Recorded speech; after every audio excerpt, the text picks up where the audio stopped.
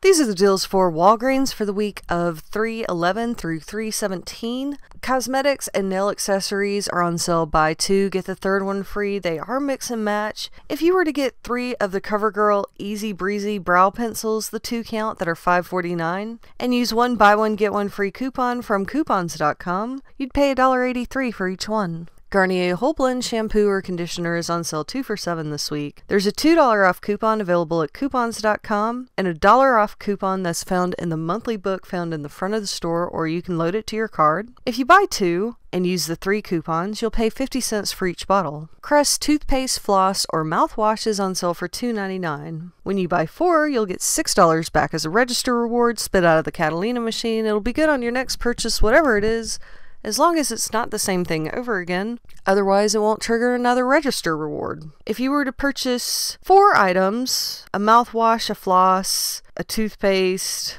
any combination, and use the dollar off coupon available at walgreens.com. That's a load to card coupon for the mouthwash or the floss, and a dollar off coupon for the mouthwash found in your Procter & Gamble of March 4th, or the toothpaste found in your Procter & Gamble of March 4th, or the floss found in your Procter & Gamble of March 4th. You'd pay 8 out of pocket, get the $6 back. It'd be like getting each thing for 50 cents. Renuzit gel air fresheners are 89 cents. There's a buy 3 get one free coupon in your Red Plum of today so if you buy four and use the coupon, you'd pay 67 cents for each one. Purex laundry detergent is on sale for $2. There's a 50 cent off coupon in today's Red Plum, making it $1.50. Persil laundry detergent is $5. There's a $2 off coupon in today's Red Plum, making it $3. All laundry detergent is $3. There's a dollar off coupon in today's Red Plum, making it $2. Scott 1000 toilet paper is on sale for $5.99. There's a 75 cent off coupon that's a load to card coupon found at walgreens.com making it $5.24.